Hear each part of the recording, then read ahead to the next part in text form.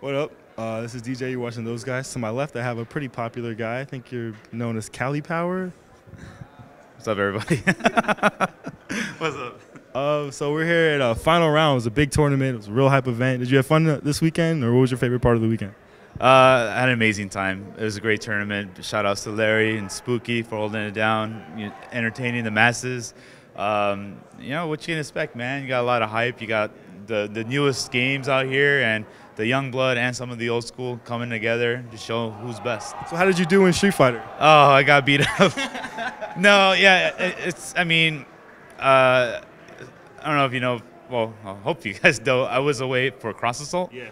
And so I've, I've been in Street Fighter Cross Tekken mode. Oh, really? And I'm not using that as an excuse, but um, you know, as soon as you stop practicing for a game, there's somebody out there that hasn't. You know, so and that's that's the result of my placings. Well, that's a nice segue into Cross Tekken. Uh, how are you feeling about the game? Do you think it's going to be hype? Do you think it's even going to make Street Fighter 4 obsolete? Like, how do you how do you feel? Street Fighter Cross Tekken is the truth, man. It's it's it's okay. Um, let's just say like if you've played Street Fighter 4 for the first time, I'm sure a lot of you had your doubts like this game is slow, it's boring, and it and for some it grew on them, and for some you guys need something a little bit more like action packed, right? Well, Street Fighter Cross Tekken is that what it should have been. You well, for if you're if you're into the action part, or like a Rainbow Edition version of Street Fighter 4, that's what it is. That's what this is. Are you still playing Ryu? Of course, of course. Yeah, Ryu yeah, all day long, man. So do you feel like the Tekken characters are going to be more powerful in this game compared to the Street Fighter characters, or do you think there's going to be a good balance? What do you feel like? Um, I feel right now that the Capcom characters are, are a bit stronger because just because of familiarity, familiarity. Ah, I can't even say it. No, just, yeah, it's yes, it's a big word. No, just because we're, we're, we're familiar with these characters, yeah, exactly. the cross ups, the the special moves, we know the ranges really well. Um, it's not too too different from Street Fighter 4, um, but then you know now you got Tekken characters, which in I think they do have a lot of potential. Some of them have potential to be the best characters in the game. Um, but in the early stages, I'm sure that the, the, there will be a lot more Capcom characters that are, are in the tournament scene. So on the Capcom side, who do you think are the strongest characters in the game so far?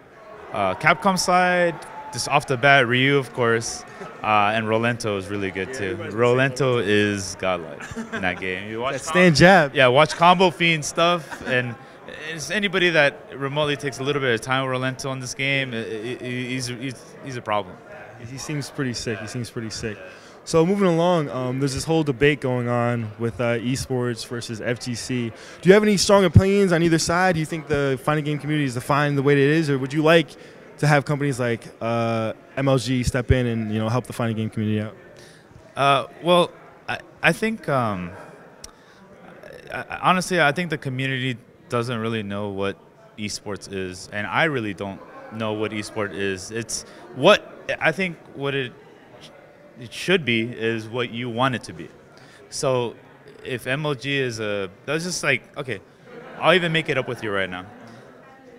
Just say esports is a business model and MLG is just another tournament organizer, but the way that they run their esports business model may not mesh or do well with you know what we're trying to do because we have fighting games only.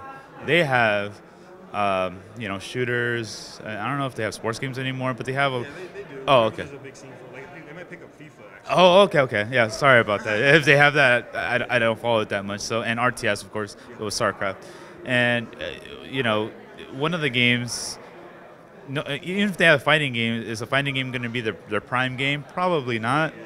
You know, so there's extreme bias over there because they have to um, complement their uh, investors, you know? Well, what MLG is kind of notorious for is that when a scene kind of dwindles, they're known for just dropping games completely. Do you feel like since they're picking up KOF, which is still like in its infancy as far as the community is, you know, and its exposure, do you feel like it would hurt KOF in the long run if they picked it up for a year and then dropped it? Uh, how do you feel about that? Oh, um,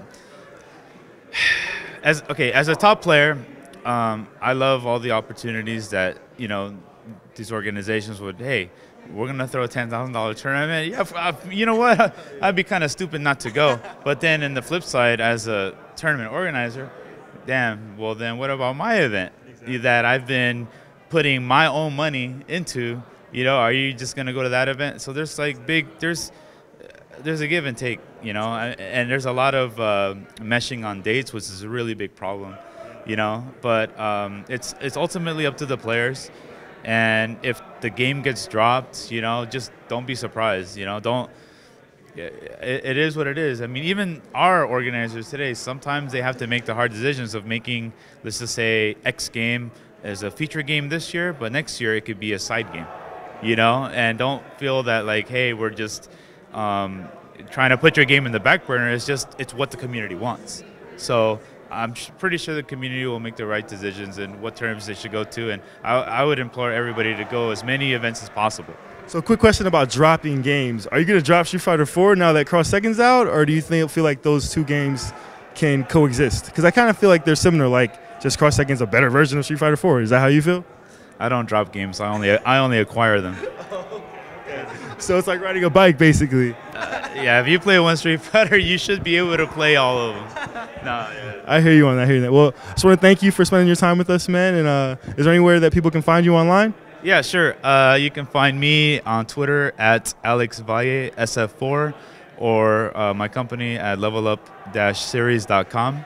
Um, check out our streams at twitch.tv slash leveluplive every Wednesday night fights and, of course, our every year major, SCR, SoCal Regionals. All right, man. Well, thanks a lot. Shout out to Cross Us Out, and uh, thanks again, man.